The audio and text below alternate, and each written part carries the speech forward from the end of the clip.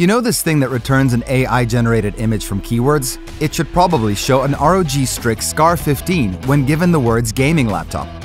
Yes, this is a classic. The latest iteration is called G533, and it has everything a gamer might need, kitchen sink included. Tag along as we give you a quick tour of the new ASUS ROG Strix SCAR 15 G533.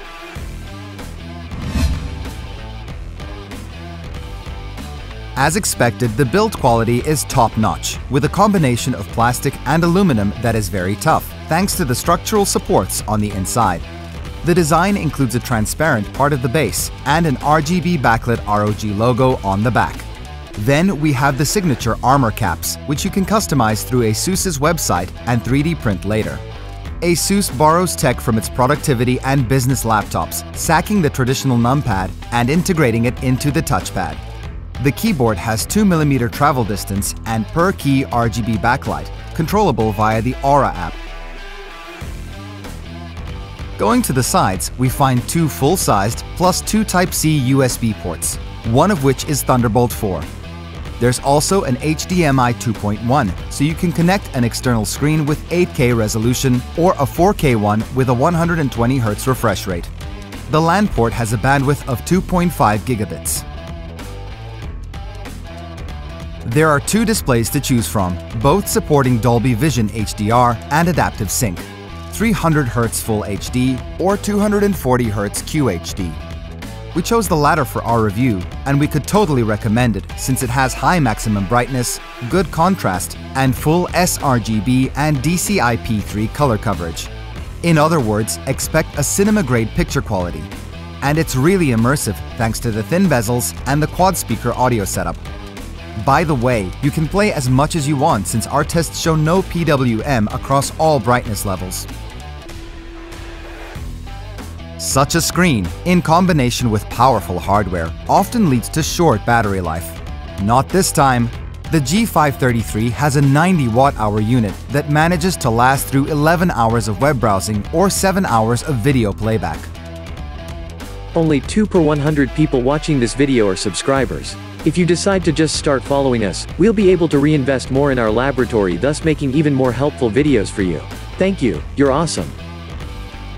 The ROG Strix SCAR 15 G533 is well future-proofed, with two SODIMM slots for DDR5 memory, plus two M.2 PCI X4 slots with support for Gen 4 drives. Of course, these are the latest generation modules. Although the G533 can be ordered with up to RTX 3080 Ti, we decided to test a more affordable configuration with the 150-watt GeForce RTX 3070 Ti.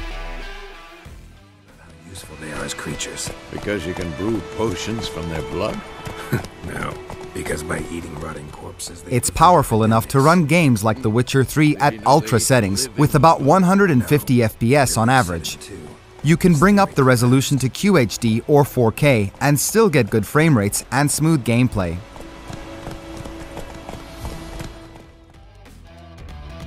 All configurations come with MUX switches, so the performance is unleashed even with the internal screen.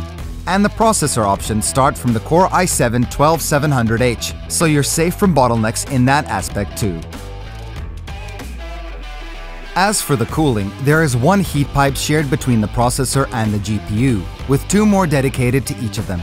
They are connected to four heat sinks, where two arc flow fans dissipate the heat. A sixth heat pipe is cooling the graphics memory and the VRMs, while the CPU sports a liquid metal thermal compound. This is a beast of a setup, as you can see in our temperature test. The Core i9-12900H in our configuration runs its P cores at nearly 4 GHz for the entirety of the test, while the E cores barely drop below 3 GHz. All of that by sustaining 121 watts in long runs. Incredible! There are no issues with the GPU cooling as well. The G533 keeps its max TGP. Our opinion is that if you can afford it, the SCAR 15 should be on your shortlist, as it provides great qualities for both gamers and creators, and looks unique while doing so.